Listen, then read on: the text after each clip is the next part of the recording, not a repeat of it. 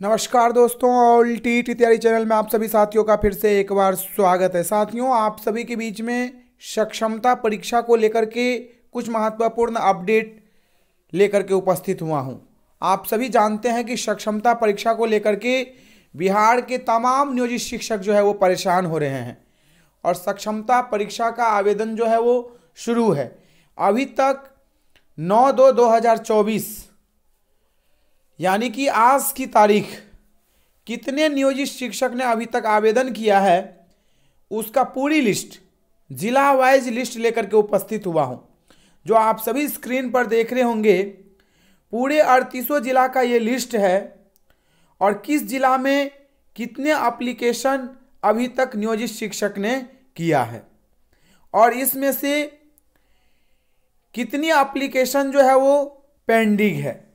उसका total detail यहाँ पर दिया गया है अड़तीसों जिला का। आप एक एक करके देख सकते हैं। साढ़े तीन चार लाख नियोजित शिक्षक है। साढ़े तीन लाख तो निश्चित ही है। अब इसमें से कितने नियोजित शिक्षक ने अभी तक आवेदन किया है? जिला वाइज उसकी पूरी लिस्ट लेकर के आप सभी के बीच में उपस्थित हुआ हूँ। एक एक करके आप देख लीजिएगा। कितने नियोजित शिक्षक ने अभी तक आवेदन किया है?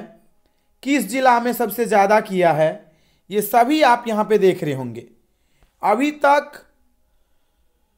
चौबीस हज़ार सात सौ पचपन आवेदन जो है वो अपूर्ण है।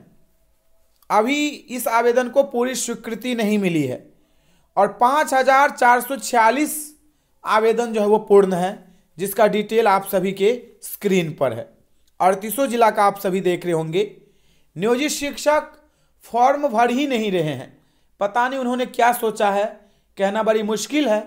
आप सभी से यही निवेदन होगा कि इस वीडियो को ज़्यादा से ज़्यादा शेयर कीजिएगा, जिससे कि बिहार के तमाम नियोजित शिक्षकों को ये पता चले कि उन्होंने कितना आवेदन किया है।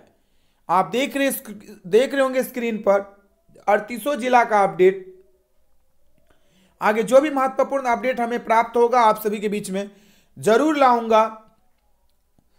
अभी के लिए इतना ही। फिर मिलता है अगले वीडियो में। सौ धन्यवाद साथियों।